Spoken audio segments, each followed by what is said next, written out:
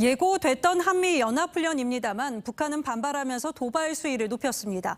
이 어제 잠수함 순항 미사일 두 발을 동해상으로 발사했는데 북한이 수중 잠수함에서 핵 탑재가 가능한 순항 미사일을 발사한 건 처음입니다. 앞으로 북한 반발이 더 거세질 거란 전망이 우세합니다. 이어서 이채영 기자입니다.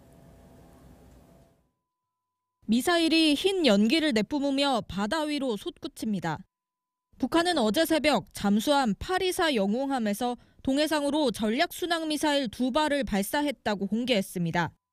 1500km 계선의 거리를 모의한 발자형 비행 궤도를 7563초 내지 7575초간 비행하여 잠수함에서 순항 미사일을 발사한 건 이번이 처음인데 전략이라는 이름을 붙여 핵 탑재가 가능하다는 점을 강조했습니다. 다양한 공간에서의 핵전쟁 옥지 수단들의 경상적 가동 태세가 입증됐습니다. 북한의 주장대로라면 남한 전역은 물론이고 오키나와 주일미군 기지까지 핵 타격권에 들어가지만 우리 군은 북한이 미사일 성능을 과장했을 가능성에 무게를 두고 있습니다. 이번 순항 미사일이 신형이 아닌 기존 육지에서 시험한 것과 같은 모델로 보이고 수직 발사가 아니었다는 점에서 발사관도 기존의 어뢰 발사관을 활용한 것으로 판단하고 있습니다.